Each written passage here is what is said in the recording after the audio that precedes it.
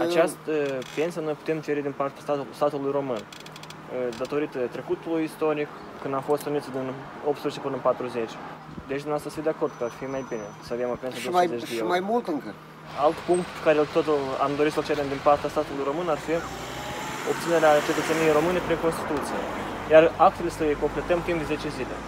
Dacă în Constituția României să, Da, da, să, este, să fie punctul ăsta. da. E posibil, da, să, să meargă așa ceva. Și ultimul punct pe care îl cerem din partea statului român este echivalarea monedei. Leul nostru moldovenesc să fie echivalat cu ronul. A, e normal la noi să fie leul nostru moldovenesc. România, ca stat integrat acum 10, 11 ani în urmă, la ei tot salariile pensiile sunt de 3-4 ori mai mari decât ale noastre. Drumurile sunt mult mai bune pentru că au venit investiții europene, au venit și s-au deschis uh, asociații europene, magazine europene, uh, infrastructura se dezvoltă.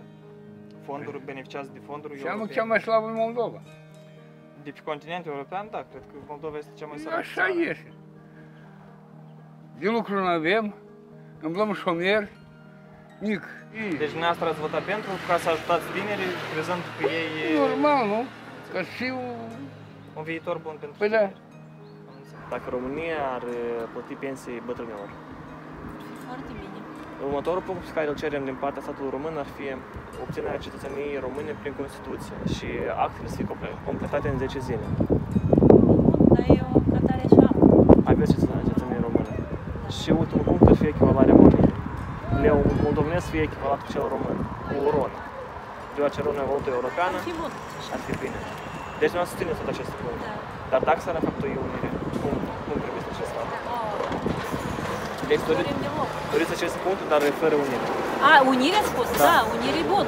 A, Am deci, crezut că fără unire. a, nu, noi, Unire e foarte bun, e foarte bine. deci dacă ar fi un event- eventual referendum, ați vota unirea cu România. Da. Bine, vă mulțumim mult. Suntem o republică, avem uh, câțiva ani buni de la independență și ar fi cazul ca să fim independenți și să ne... Suntem independenți în 91, 30 de ani au Da. trecut. Vedeți ce schimbări spre bine? Că 29. Uh, Schimbări în bine atâta timp cât noi nu am fost independenți în adevăratul sens al cuvântului, am fost, am depins majoritatea timpului de cineva, de ruși în special și am fost controlați prin diferite moduri și din cauza asta cred că țara noastră n-a evoluat în calea care trebuie și n-a fost condusă, cred că.